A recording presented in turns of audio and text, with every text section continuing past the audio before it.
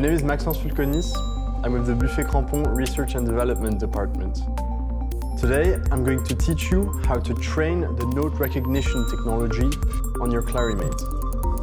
As your clarinet naturally ages and changes a little bit, it's possible that the clarinet might not recognize some notes as well as it did before. You can also use this to customize the fingerings to your liking. So first, connect the Clarimate to your computer in USB mode and launch the Clarimate application. Then, start your Clarimate in USB mode by holding the USB button and pressing the power button.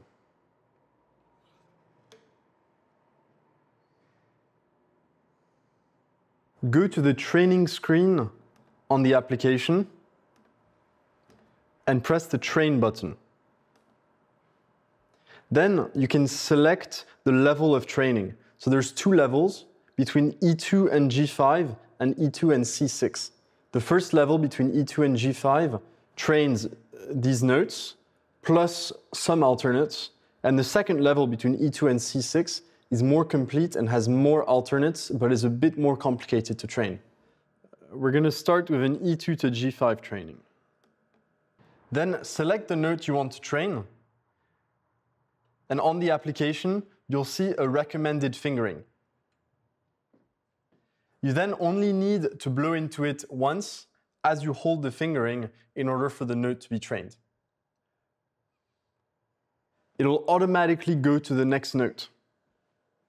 And then you can train as many notes as you want, and once you're ready to play, hit the play button, and you're ready to go. Once you're done with the training, you can save a specific training set by going back into the training menu and hitting the Save button. This lets you name your training set. So let's name it Max Training Set, and then hit the Enter key to save it. Then wait a few seconds as it backs up the training set. You can also restore a training set at any time by selecting one that you've previously done and hitting the Restore button. It'll then ask you if you want to restore the training set into your instrument. Press OK, and your training set will automatically be uploaded to your clarinet.